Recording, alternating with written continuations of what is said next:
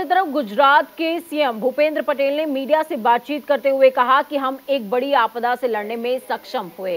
NDRF, SDRF और अन्य एजेंसियों ने चक्रवात के होने वाली किसी भी क्षति से बचाव के लिए कठिन प्रयास किया।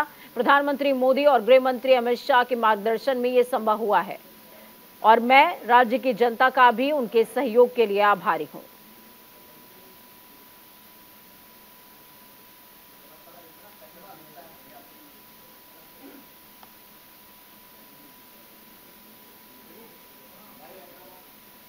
एनडीआरएफ और एसडीआरएफ के लिए कठिन काम।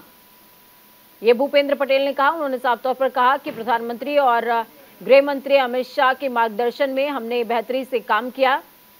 लेकिन अब देखिए, सरकार के सामने, गुजरात सरकार के सामने चैलेंज है सबसे बड़ा कि वापस री एस्टैब्लिशमेंट की तरफ़ वो कितनी जल्दी पुनर्स्थापन की तरफ़ आगे बढ़ पाते हैं। लोग जिनको विस्थापित किया गया था अलग अलग जगहों पर शेल्टर होम्स में उनको कैसे वापस से घर मुहैया करा पाते हैं? टास्क बहुत बड़ा है, लेकिन इस टास्क के साथ केंद्र सरकार और तमाम देश के लोग भी गुजरात के साथ खड़े हैं।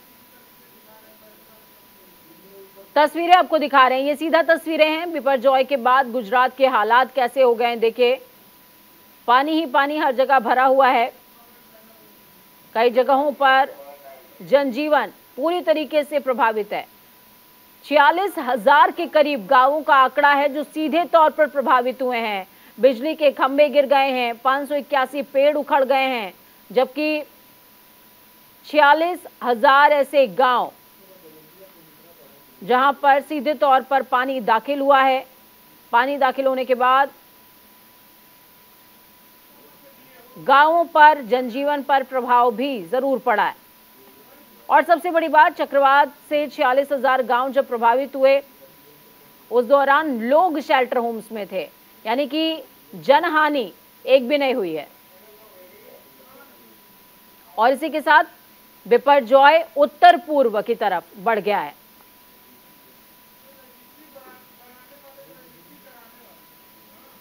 जॉय को लेकर देश के लिए अगली खबर क्या हो सकती है, वो भी आपको समझनी चाहिए। अगली खबर राजस्थान से सामने आ रही है, क्योंकि गुजरात में तो आपदा टल गई।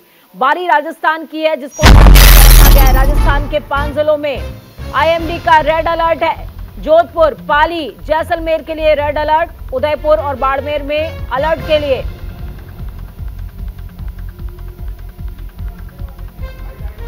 रेड अलर्ट है, प्रभावित जिलों में तेज हवाओं के साथ बारिश शुरू, बारिश शुरू होते ही प्रशासन अलर्ट मोड पर आ गया है। पाँचों जिलों में दिख रहा है बिपरजॉय तूफ़ान का भीषण असर। रुक रुक के तेज हवाओं के साथ हो रही है बारिश। तस्वीरें आपको दिखा रहे हैं। ये तस्वीरें पाँच जिलों, जिनमें जोधपुर है, पाली है, जैसलमेर, बाड़मेर, उदयपुर। उदयपुर को झीलों का शहर कहा जाता है। जैसलमेर, बाड़मेर और पाली ऐसे क्षेत्र हैं जो कि काफ़ी सूखे हैं। तो यहाँ पर बारिश बहुत ज़्यादा हो रही है।